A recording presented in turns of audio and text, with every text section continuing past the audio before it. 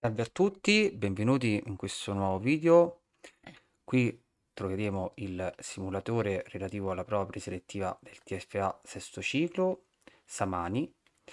E in uh, questi video di questo canale, soprattutto quelli raggruppati all'interno del TFA sesto ciclo, troverete video di formazioni per le attività di sostegno nella scuola. Bene, se vi piace questo video, se volete rimanere sempre aggiornati, non dimenticate di iscrivervi al canale qui sotto e eh, al tempo stesso ricordate che mi fa sempre piacere sapere che cosa ne pensate e quindi potete lasciare un commento qui sotto. In descrizione troverete altre risorse utili.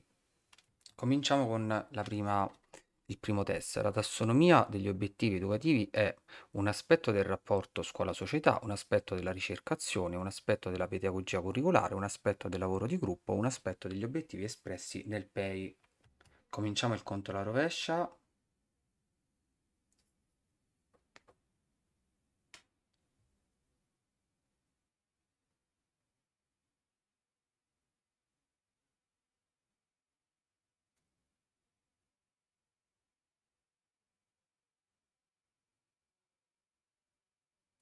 La risposta corretta è un aspetto della pedagogia curricolare. Infatti, un aspetto della pedagogia curricolare è una corretta programmazione formativa in base ai bisogni formativi individuati nelle fasi della progettazione del percorso formativo e quindi eh, fa parte anche eh, la tassonomia degli obiettivi, eh, fa parte degli aspetti salienti della pedagogia curricolare.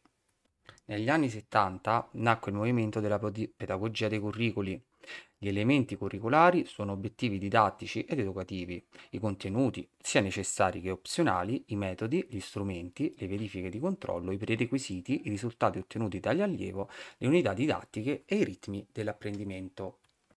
Leggiamo seconda, il secondo test. Cosa si intende per continuità orizzontale?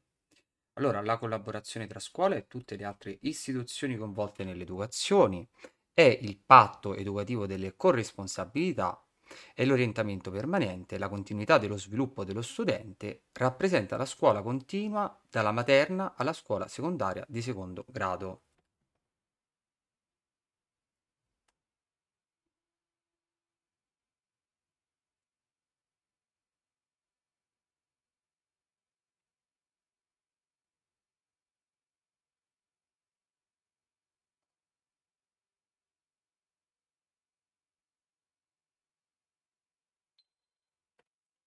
La risposta esatta è la collaborazione tra scuole e tutte le altre istituzioni coinvolte nell'educazione.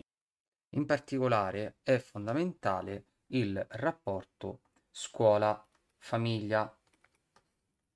Quindi è necessario, cioè tutte le riforme che si sono susseguite negli ultimi anni sono state sempre mh, riforme che hanno sottolineato la necessità di un rapporto costruttivo tra scuola e famiglia. Infatti cito, ve lo leggo, la crescita e la valorizzazione di ciascun allievo avviene nel rispetto dei ritmi dell'età evolutiva, delle differenze dell'identità di ciascuno e delle scelte educative della famiglia. Scelte educative della famiglia.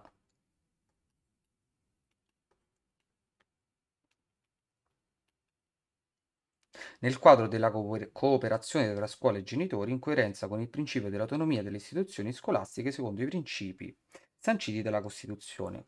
Questo è tratto dalla legge numero 53 del 2003.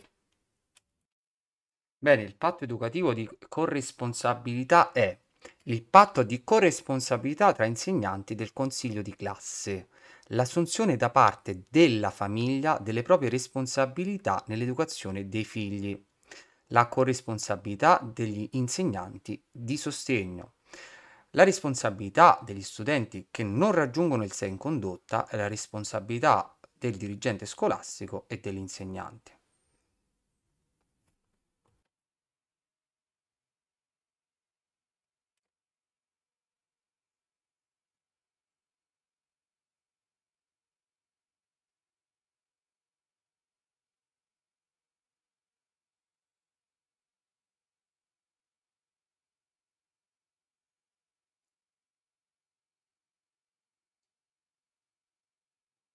Bene, allora è l'assunzione da parte della famiglia delle proprie responsabilità nell'educazione dei figli. Infatti, il patto educativo di corresponsabilità nasce dal DP DPR del um, numero 235 del 2007, che modifica lo statuto degli studenti e delle studentesse della scuola secondaria ed era eh, essenzialmente pensato per eh, inasprire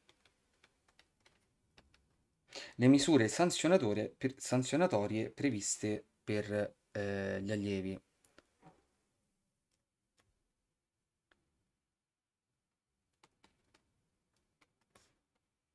Le sanzioni degli allievi. Esso a un certo punto richiama eh, le famiglie all'assunzione delle proprie responsabilità nell'educazione dei figli si pone come una sorta di contratto tra la comunità della scuola e la famiglia, da firmare all'atto dell'iscrizione in maniera da definire la misura della condivisione delle responsabilità e i diritti e i doveri necessari per la gestione corretta del rapporto scuola-famiglia. Per orientamento si intende l'attività del dirigente scolastico, la stesura del patto educativo, l'attività del tutor nei confronti del docente neoammesso in ruolo, l'attività che cerca di dare la possibilità ad un individuo la gestione e la pianificazione del proprio apprendimento, l'orientamento storico della scuola italiana.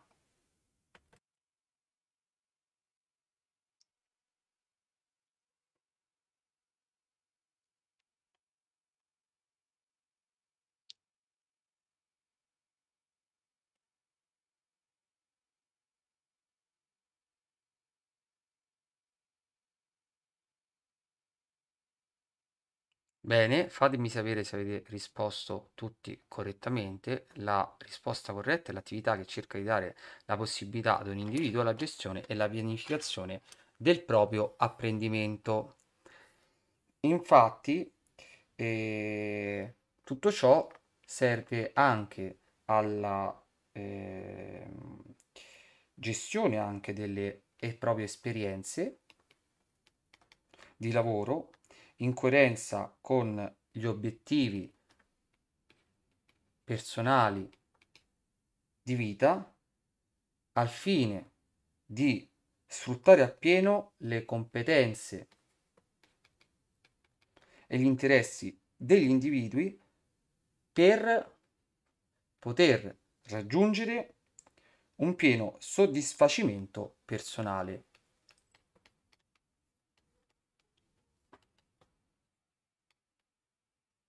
Vi ringrazio per l'attenzione, vi auguro una buona continuazione di giornata, un caro saluto da Francesco Samani.